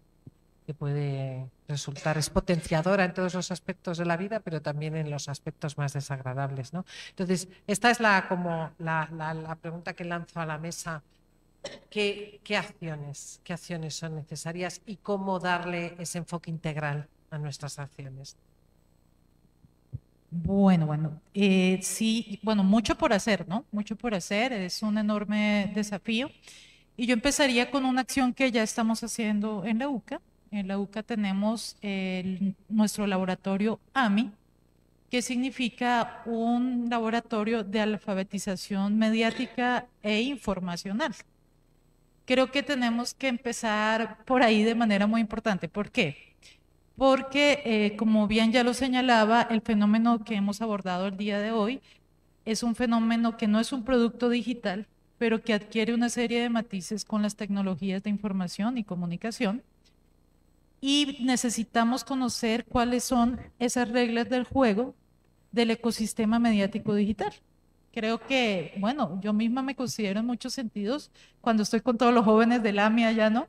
Y los profesores más jóvenes por supuesto que yo todavía, imagínese alguien más joven que yo todavía, pero sí, eh, que trabajan todos estos temas del AMI, ¿no? Que son tres profesores eh, de 30 o abajo de 30, ¿verdad? Pues me siento bastante analfabeta digital y con ese al ser tan analfabeta digital, muchas veces eh, las personas, ¿no? No logran ver todos estos riesgos que se están generando en este ecosistema mediático digital. Entonces creo que primer punto clave, tenemos que conocer esas reglas del juego de ese ecosistema mediático digital, incluirlo en los currículos, no solo de la carrera de comunicación social, ¿no? Creo que en todas las carreras, porque es el ecosistema en el que vamos a estar viviendo y coexistiendo. Muchas veces como no nos cuidamos lo suficiente, ¿no? Entonces donde se presentan, o sea, no, no estoy culpando, sino diciendo que una manera de prevenir es conocer estas reglas del juego y superar un poco ese analfabetismo digital. Entonces yo empezaría con esa Primera cuestión. Ahora, en esta alfabetización mediática e informacional y digital, yo la veo en varias vías. Una hacia los usuarios del sistema, ¿verdad? Que están todo el tiempo, hay usuarios, usuarias en este caso. No, pero también usuarios porque todos tenemos, todos formamos parte de, la prevención de esta situación. Pero dos, también hacia los productores de contenido. Yo creo que ahí hay un enorme desafío también. O sea, yo, yo considero que los productores de contenido muchas veces hemos sido cómplices eh, de reforzar estos estereotipos de género, por ejemplo, ¿no? De contribuir sin querer, consciente o inconscientemente, a la violencia simbólica, eh, de contribuir a la estigmatización, ¿no?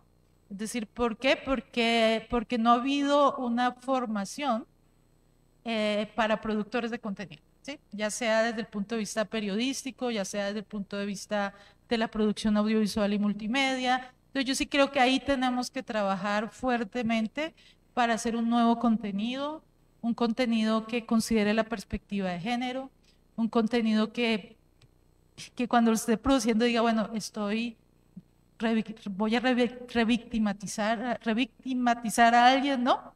¿Cómo estoy al hacer esto, no?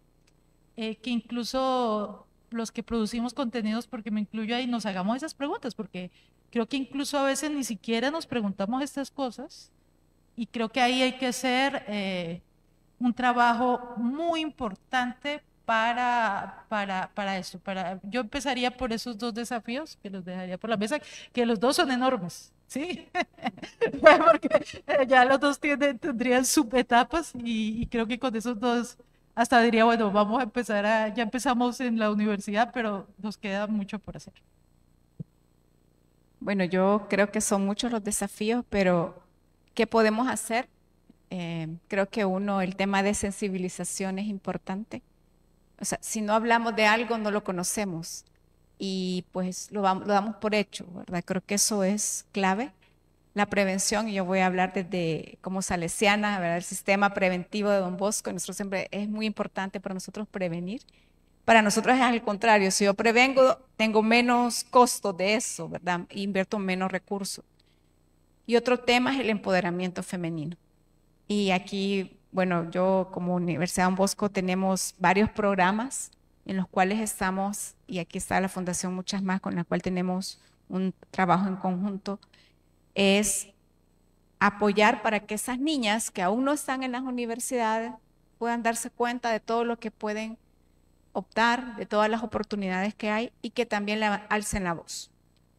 Además de diferentes programas que tenemos, como el Science Girl Camp, que es fomentar para que más niñas estudien carreras de ingeniería, también tenemos un programa que se llama Promueve, el programa de empoderamiento de la mujer, y ahora está Celina aquí que coordina hablábamos de cómo desde la tecnología, y darle la vuelta, desde la tecnología podemos prevenir. Podemos, los jóvenes que están en tecnología, jóvenes que estudian carreras de idiomas, también traducir algunas cosas, es las comunicaciones también es clave, ¿verdad? Y aquí coincido con Georgina, la comunicación está siempre en todo y a veces es la que nos sale como débil, ¿verdad? Porque es como podemos mejorar pero una app en la cual los niños están ahí. O sea, no solo enseñémosle a los niños a, una app para que pueda vestir a una muñeca, sino a identificar qué es el ciberacoso. O sea, los niños aprenden rápido. O sea, esas palabras, todo es el ciberbullying, ¿verdad? Que uno, nosotras que ya estamos en, otro, en otra edad, ¿verdad? Uno dice, ¿qué, qué, qué quiere decir funado? ¿Verdad? Que lo dicen ahora los jóvenes. Y, hace poco me decía una, mi hija me decía, mira, estamos, ella acaba de empezar a trabajar en una empresa, y es de tecnología, es ingeniera mecatrónica, y dice, es que vamos a hacer el listado de palabras que usan ustedes, los mayores, y el listado de palabras que usamos nosotros. Pero creo que esas cosas se pueden hacer apps en las cuales los niños puedan tener acceso a eso. Ahora hablamos con Celina al venir de cómo desde también ingenieros en computación pueden, o que les gusta la tecnología, identificar esos lugares donde no es seguro. O sea, decir, este lugar no lo visites, no hagas eso, porque también no, es. Hay gente que dice, no voy a tener mi perfil en redes para no tener problemas. Es que lo puede tener. O sea, o sea, no es que eso sea malo, al contrario, es una forma también de, formarnos. Y otro aspecto que considero muy importante, porque ahora es al, al escucharlas he visto cómo es de vulnerable edades tan pequeñas, ahora porque eh, una niño le dan una tablet para que no moleste en un restaurante, no lo ve, el niño es, pero no sabemos que puede darle clic ahí. Y es el tema de la formación con los padres de familia. Muchos padres de familia no saben cómo ponerle algo seguro en un teléfono, eh, cómo puede usar una red social, porque ni ellos la tienen y el hijo le enseña, ¿verdad? Bueno, váyase acá. Es importante desde los colegios, instituciones de educación, y por eso me gustaba el tema de políticas públicas, hacer estas escuelas de padres que ya hacen con esos temas. Porque los mayores algunas veces tienen miedo a la tecnología. Dan clic y se asustan. Ustedes vean, la gente mayor no quiere usar la app del banco porque le da temor introducir sus datos. En cambio, los jóvenes no van a ir a hacer fila a un banco. Yo creo que serían esas como cuatro cosas. Primero, el tema de sensibilizar, prevenir, el uso de la tecnología para prevenir y sensibilizar, que, que llegamos hasta más rápido a esos grupos, y el tema de también formar a los padres de familia en el uso de la tecnología, en cómo asesorar a su hija y decirle, no, si va a hacer esto, haga, coloque esto. Incluso en algún momento esas empresas que desarrollan tecnología también van a tener que poner sus filtros. Si, puede, si quieren crear un perfil, te voy a escanear tu rostro, ¿verdad? Presentame algo en el cual me comprobes que tenés la edad que decís. Eso se puede hacer. Entonces creo que también es exigir como usuarios para que eh, no sea tan fácil manipular. Y eso creo que también es el, el paso que, deben, que debemos exigir como usuarios. Bueno, creo que aunado a lo que ya las colegas eh, muy atinadamente han mencionado, mm, como mencionábamos ya y ya se ha dicho bastante en esta mesa, este es un problema social. Entonces, la respuesta a esto no va a venir del derecho únicamente. O sea, los problemas sociales no se, no se resuelven de manera jurídica. Em, entonces, eh, la respuesta tiene que ser integral. La legislación es importante, es una herramienta que permite, en algunos casos, eh, dar respuesta a estas eh, situaciones, em, pero aquí también el sector privado es importante. O sea, las empresas de tecnología, las empresas de comunicación son, tienen que ser aliados importantes en este, en este tema a veces hay como más empatía con los trabajos de prevención de violencias a niñas y niños, a veces. Em, pero también es importante eh, hacer ese énfasis, ¿no? cómo la violencia de género se cruza, esa interseccionalidad que mencionábamos. Y mm, cómo hacer conciencia también de que soy un distribuidor de servicio de Internet, soy un distribuidor de servicio de mensajería, soy, etcétera. Soy responsable también de controlar lo que se distribuye, lo que se sube en mis plataformas, ¿no? Y el deber también de colaborar con las investigaciones que se hacen. Hace muchísimos años, voy a decir cuántos, porque me pongo mal, pero em, cuando se hacían las investigaciones, por ejemplo, eh, de X delito, ¿no? Entonces eh, se solicitaba a las empresas de telefonía el vaciado de información o el registro de las llamadas telefónicas, etcétera, ¿no? Entonces, que era como muy básico porque eran teléfonos que todavía no tenían las aplicaciones de mensajería que existen ahora, pero a medida que también la tecnología va avanzando, pues la forma también de ir obteniendo ese tipo de información que puede abonar a las investigaciones tiene que ir eh, fluyendo también, avanzando y que las empresas también se sientan comprometidas, que reconozcan también la responsabilidad que tienen para facilitar la identificación de agresores, de personas que utilizan perfiles, falsos o que seguramente están cometiendo un delito acá, pero que la persona de dirección IP de otro lugar, etcétera, ¿no? O sea, la tecnología nos facilita muchas cosas, en temas de investigación a veces nos deja como un poco complicados,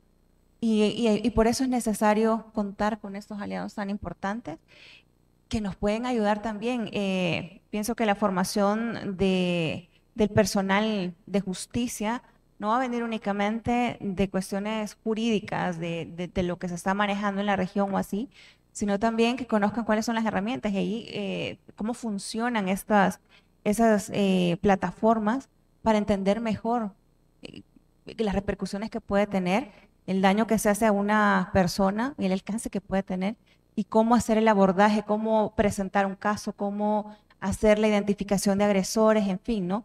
Em, anuncio parroquial, ¿verdad? De, los avances que tenemos en el país, que, a ver, estamos en pañales todavía y en la región, pero tenemos una ley de delitos informáticos que tiene un apartado específico de delitos contra niñas, niños y adolescentes y por ahí una que otra eh, disposición que habla acerca de eh, la prohibición de, de difundir imágenes, etcétera.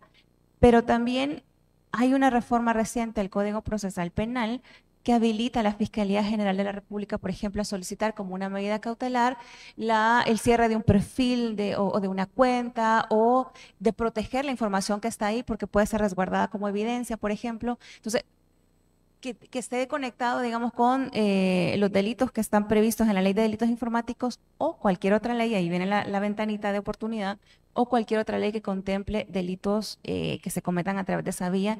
Y ahí podemos hacer la conexión, por ejemplo, con las, eh, expresiones de violencia contra la mujer que están contempladas en la ley. Es decir, tenemos que ir viendo también eh, dentro de lo que hay, cuáles son esas ventanas de oportunidad que tenemos.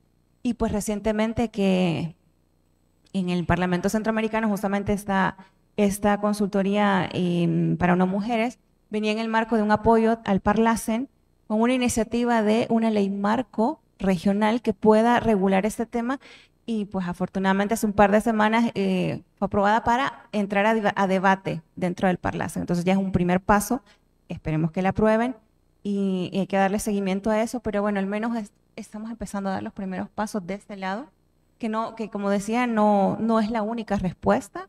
Hay mucho trabajo en el tema de prevención porque lo ideal sería que no necesitáramos regular esto porque no ocurrieran ese tipo de cosas, ¿no? Pero, pero bueno, ahí vamos.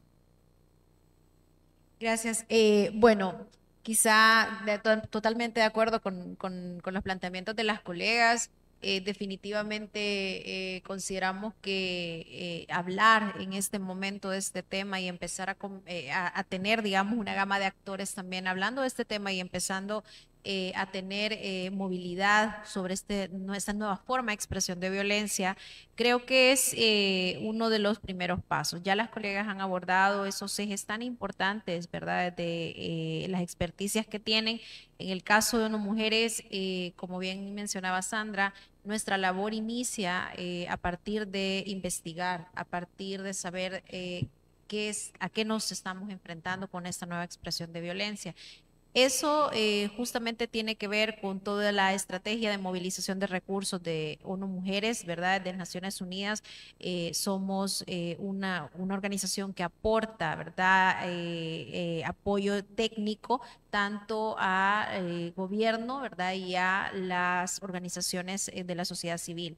Esta, esta función, digamos, para nosotras es muy importante porque nos permite también plegarnos a la agenda de las mujeres y ver también cómo se puede tecnificar, cómo se puede también investigar, cómo se puede prevenir también eh, desde lo local, más allá de las medidas eh, a nivel nacional que se puedan tomar, que sean legislativas, las propuestas de reforma eh, o programas o capacitación para el personal de administración de justicia. Más allá de esto, la clave para nosotras también está en el trabajo territorial y comunitario dónde están las mujeres y las niñas a nivel comunitario y cómo también ese trabajo de prevención, que es un trabajo eh, que hace muchos años las organizaciones de mujeres vienen eh, eh, ya de, realizando y cómo podemos apoyar, digamos, esa agenda también para empezar a generar estos cambios desde lo local.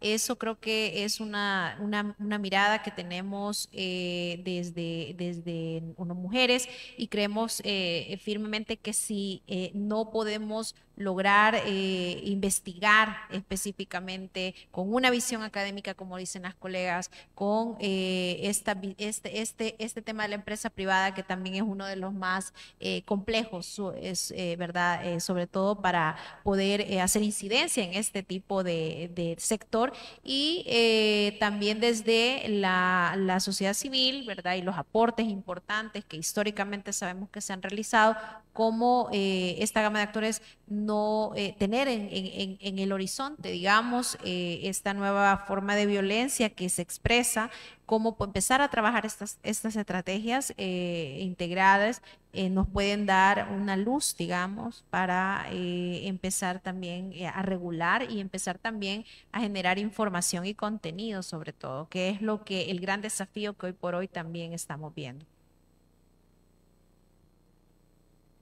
Bueno, creo que tenemos una lista de tareas amplia. Como dice Georgie, eh, necesitamos una buena movilización de fondos, que es uno de, de los objetivos de la campaña de UNET este año, ¿verdad? Porque realmente la inversión en prevención de la violencia ha bajado mucho. Eh, y no solo la inversión, o sea, la, la, la, inversión que se está haciendo en ayuda al desarrollo para prevención es menor que, que antes. no se está comprendiendo la importancia de, invertir, porque como dice Giorgi, no es algo que podamos hacer nosotros, tenemos que hacerlo con todos, tenemos que apoyar a esa sociedad civil que lo está haciendo, que tiene las herramientas.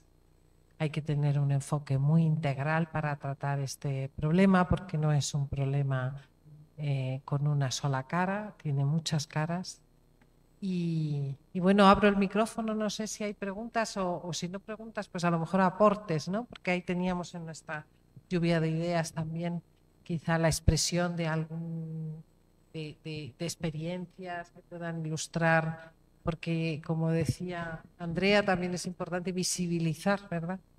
¿Qué es lo que está sucediendo? Así que abrimos el micrófono. Gracias. Creo que es bien importante cuando mencionas justamente abordar ese tema de forma integral.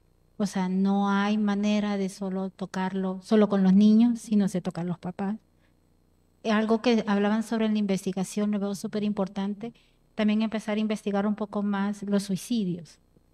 Eh, creo que se queda tanto en el ámbito tan privado que poco se investiga realmente las razones de los suicidios. Y creo que muchos de los suicidios, y más en las edades adolescentes, radican mucho justamente en cuestiones de ciberacoso o, o de, eh, por ejemplo, cuando ya también ya han expuesto ya la dignidad de alguna chica en, redes sociales. Em, algo que hablábamos con ingeniera justamente es cómo empezar a trabajar desde la academia, o sea, proyectos que generaran justamente este tipo de prevención pero realmente también veo cómo amarrar la empresa con justamente algo que sea legislado, porque la empresa no se va a regir si algo no está legislado ni regulado. Entonces, prácticamente tenemos que trabajar el ámbito político, legislativo, junto con la empresa, porque ellos no se van a regular si la empresa, si no está realmente obligados a hacerlo. Porque nuestros chicos pueden generar las mejores apps pueden generar los mejores programas de detección, pero si no tenemos la voluntad de la empresa para trabajar el tema, no lo va a hacer. Entonces, em, creo que es súper importante abordar otro, la formación de padres, incluso de padres de familia dentro de la universidad. Nosotros lo hacemos, formamos a los padres de familia dentro de la universidad, pero creo que ya va siendo el momento de empezar a hacer un Science Girl Camp, pero para papás. Vea, o sea, porque mm, tienen que aprender a manejar la tecnología. O sea, tenemos que aprender a adaptarnos a las nuevas tecnologías y creo que el rechazo a la tecnología de las personas que somos mayores o que ya somos padres de familia, hay una resistencia. Y hay que empezar a votar las barreras de la tecnología y cómo trabajar para ayudar a nuestros jóvenes a desarrollar rápida la parte prefrontal, ya que es de la parte, veía un, un análisis de la VBBA, que decía sobre cuánto tiempo tarda la parte prefrontal en desarrollarse, que es la que e, evalúa los riesgos. ¿Por qué nuestros adolescentes están tan expuestos a riesgos? Es porque esa parte no se ha desarrollado, se desarrolla hasta los 24 años.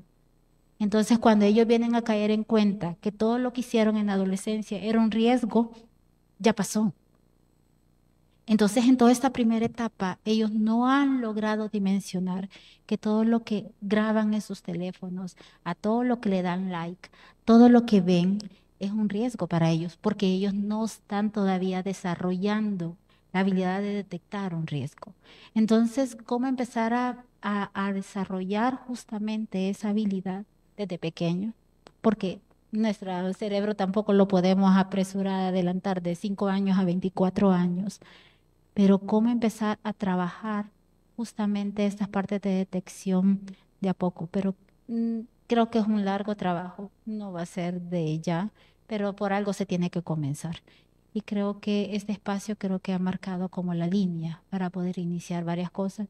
Y creo que la academia, la sociedad civil, los espacios públicos, también las asociaciones internacionales que creo que en este momento también están ya interesadas en el tema, pues hay que hablarlo y hay que gritarlo, como estaba la imagen ahí. O sea, no puede quedarse ya más callado.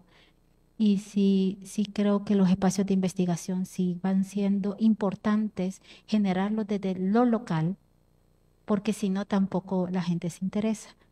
Entonces, porque dicen, ah, es que eso pasa en México, ah, es que eso pasa en Sudamérica, pero si no tenemos investigación local, o sea, algo que nos diga que aquí en El Salvador realmente esto pasa, tampoco se va a, investigar ni se va a hacer mayor esfuerzo por hacer algo.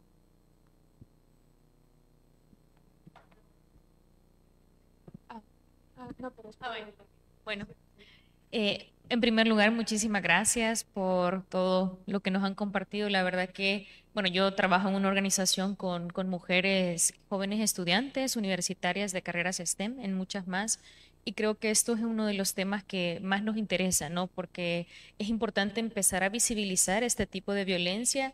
Eh, yo quiero compartir un caso así muy personal. Desde hace como tres años, creo, estuve en contacto con una situación bien complicada de una amiga que había eh, bajo manipulación había compartido fotografías a su, a su pareja y luego la socializó en un grupo de WhatsApp. Cuando a mí eh, se me acercó para comentarme de esa situación, claro, yo dije, pero ¿de qué se trata esto? O sea, ¿dónde acudo? Es decir, eh, ¿cuál es el mecanismo que yo debo de seguir para poder denunciar esta situación? Y también el proceso mismo de, de, cómo las mujeres también identificamos que estamos siendo víctimas de este tipo de violencia, ¿no? Entonces yo creo que también hay un tema bastante, bastante importante que tiene que ver con la identificación, ¿verdad? De, de estos tipos de, de, violencia y luego esos mecanismos, ¿no? Porque si no estamos... Eh, informadas o los espacios donde, donde estamos no tenemos acceso a este tipo de procesos donde se, se nos habla de dónde podemos acudir y demás, creo que eso es uno de los retos eh, fundamentales, ¿no? Y luego también creo que este tema de las plataformas de OnlyFans, por ejemplo, entre otras que tienen que ver con este tema eh, de la pobreza en donde se digamos, se encuentra como una facilidad para tener un empleo, porque incluso se, se, ve como un empleo, aunque no, no lo sea de esa manera, y hay una cantidad de contenido en, en Facebook, en Instagram, o sea, a través de personas influencers, o sea, creo que ahí hay una situación bastante compleja y también tuve conocimiento, por ejemplo, de que en la zona de Aguilares, cerca de Suchitoto, eh, hay familias que incluso bueno, utilizan a sus hijas para poder comercializar con personas familiares que están en Estados Unidos, ¿verdad? Eh, que les piden fotografías de, de, las niñas y es bastante complejo porque ahí también hay un tema de, de, pobreza, ¿no? Entonces hay una violencia económica, pero además una violencia eh, digital, ¿no? De la que estamos hablando. Entonces para mí es, es bien importante eh, trabajar con las, con las niñas, con las mujeres jóvenes, pero también con las personas que estamos permitiendo que todo este tipo de violencias se, se multipliquen, se, de, se, diversifiquen. Entonces, eh, yo creo que eso, ¿no? Como mujer joven, o sea, eh, a mí me encantaría conocer, digamos, cómo puedo identificarla, cómo puedo prevenirla, pero también a dónde voy a acudir si estoy viviendo una situación de ese tipo, ¿verdad? Entonces, creo que eso para mí eh, es, es fundamental. ¿no?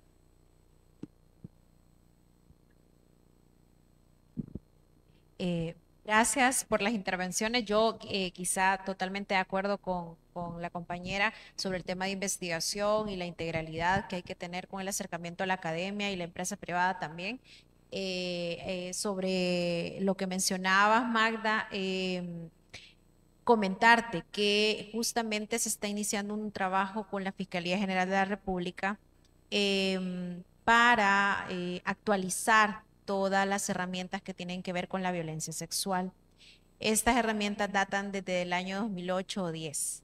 Estamos eh, planteando que hay que homologar toda esta línea de investigación eh, criminal sobre los temas, los delitos de violencia sexual.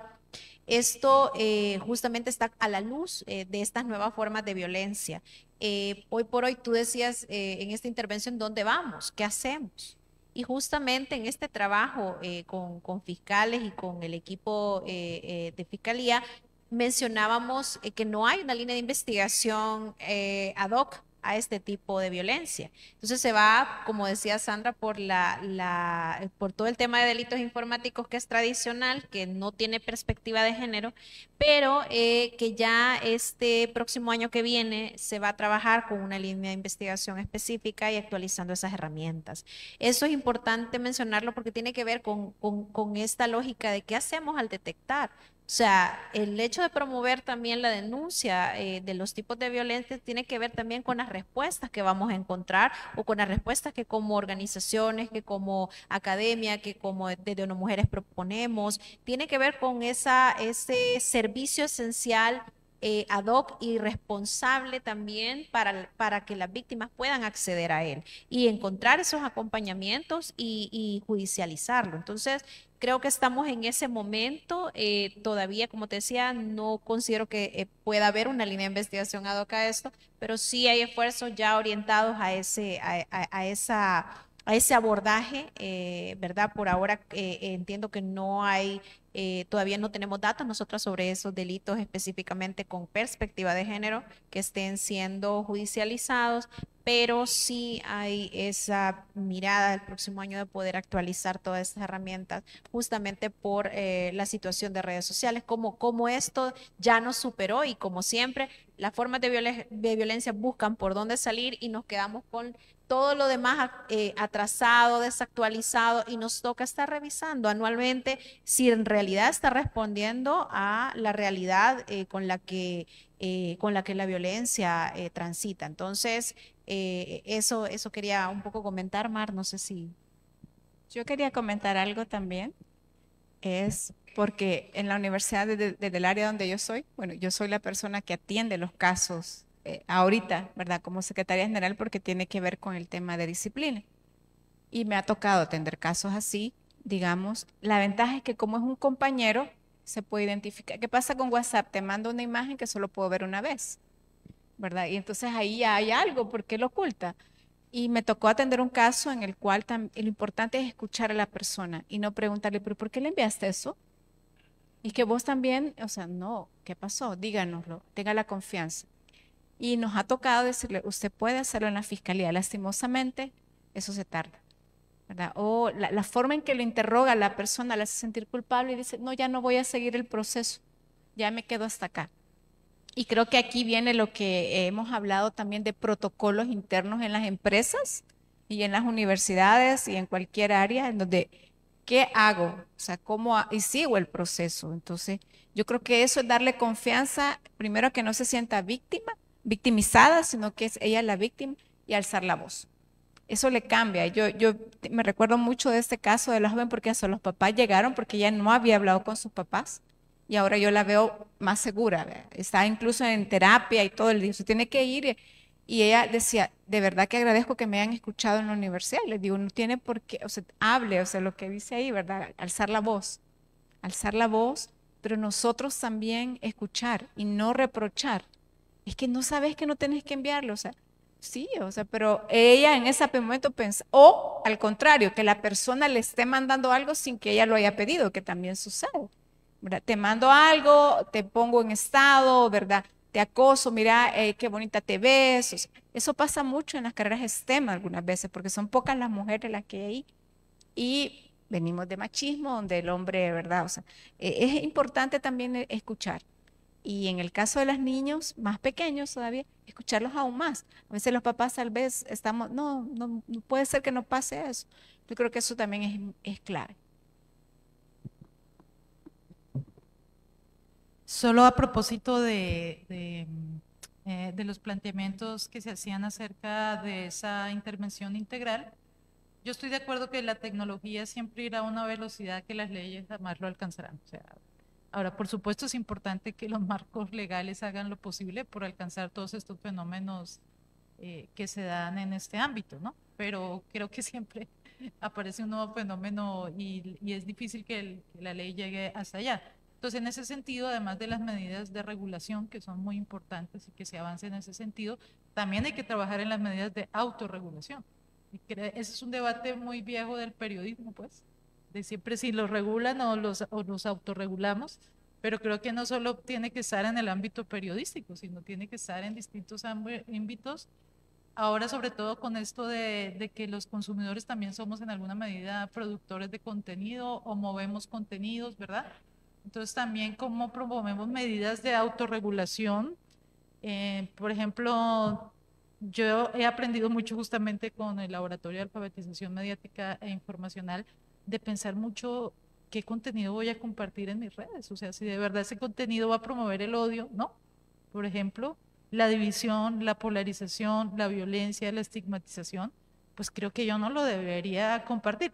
Y a veces es súper chistoso, o sea, honestamente, ¿sí? O sea, me acuerdo un juego que hicimos en AMI que identifique los memes misógenos y todo esto, ¿no?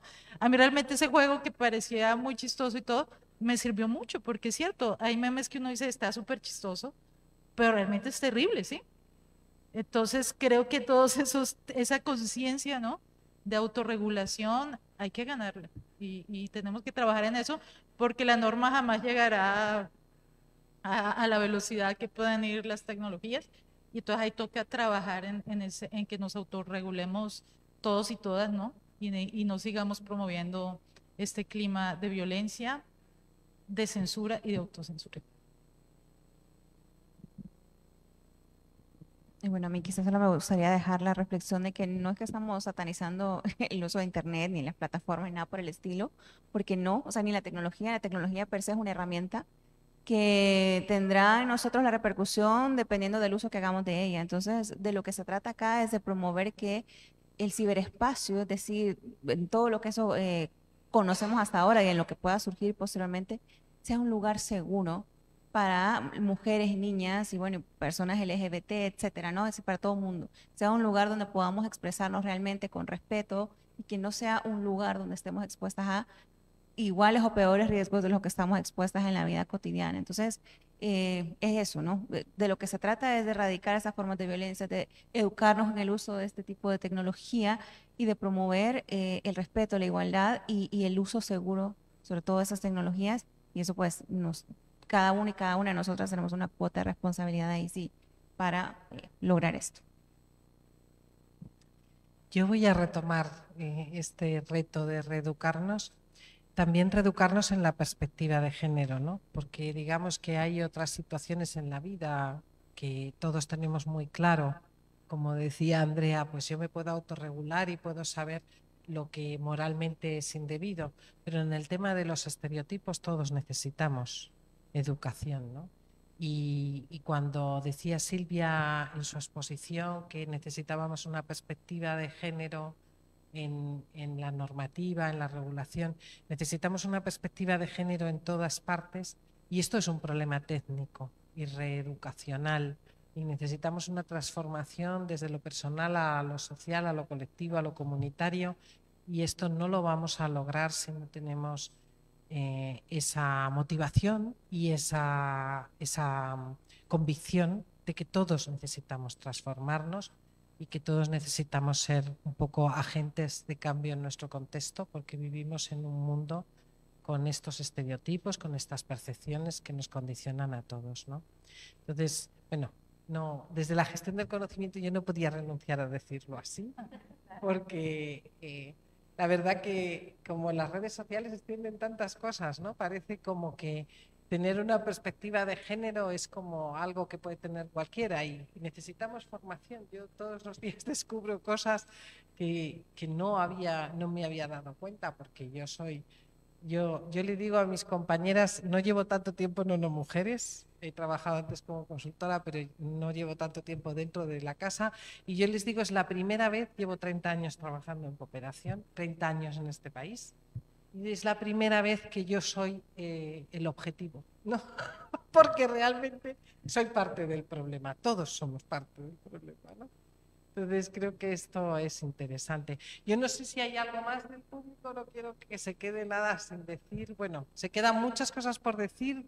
Mm, este es el principio de una conversación, yo he tomado nota. Necesitamos muchos más interlocutores, subir al escenario a muchos más interlocutores. Invito al Centro Cultural de España a que nos acompañe en este proceso. Podemos iniciar un proceso largo, de, despacito, con buena letra, pero continuo, ¿verdad? De conversación.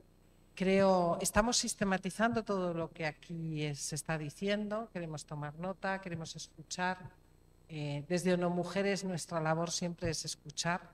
Nosotros desgraciadamente no podemos cambiar la realidad, pero sí podemos escuchar y, y sí podemos mm, extender eso, todo eso que escuchamos, llevarlo a otras partes, como hace Georgie con, con sus contrapartes que tienen que ver con la justicia.